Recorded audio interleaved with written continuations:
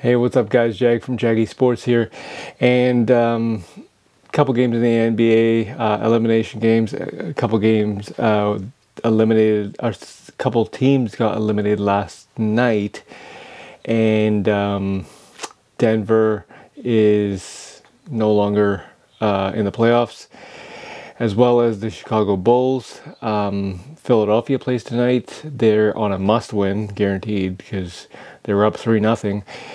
But um, what I want to talk about is Kyrie Irving's tweets this morning. He brought up uh, a couple tweets, and basically, he is saying the media likes to degrade um, African American and indigenous leaders and community leaders. Everything that I've saw from the media in regards to Kyrie Irving had no mention and they were not degrading his race. Maybe maybe um, uh, talking about his time off. Yeah for sure. His play for sure. Um, the Nets failure for sure. But it wasn't degrading the African American and indigenous leaders and community leaders.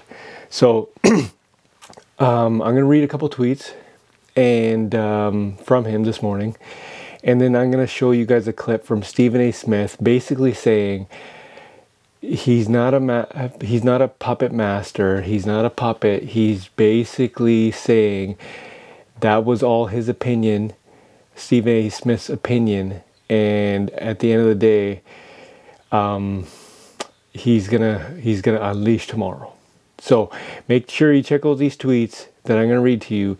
Make sure you check out this clip from Stephen A. Smith because tomorrow he's hyping it up. So if he's hyping it up, it's got to be good. This is Jag from Jaggy Sports. Just watch all of the people who wake up every day and report about people's lives on TV and social media and then profit off of them. Then they justify their jobs by saying they get paid to see to say how they feel. LOL, it's like these people live in a fantasy.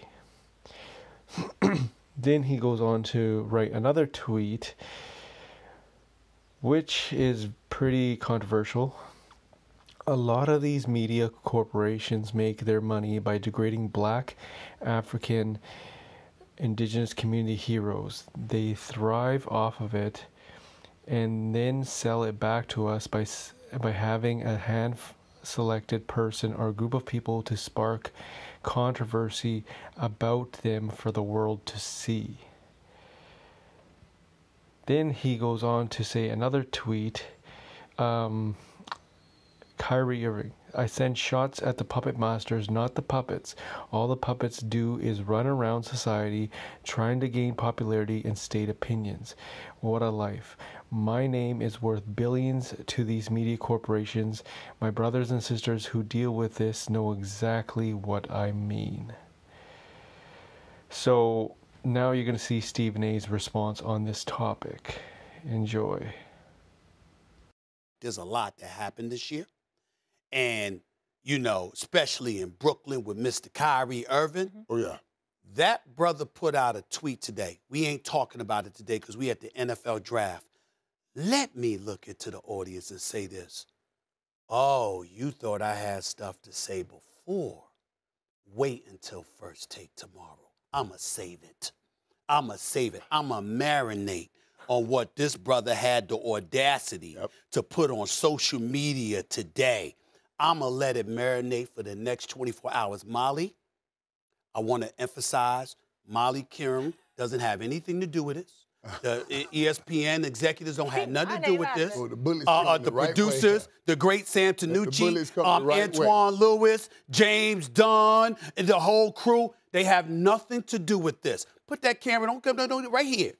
Tomorrow, on first take, I love him. this brother right here gonna put up this stuff on social media to say the stuff that he said. I'ma let it marinate for the next 24 hours. If ever the cuffs came off on first take, it's coming off tomorrow. Mm. I'm I can't wait. I don't even want to oh. sleep.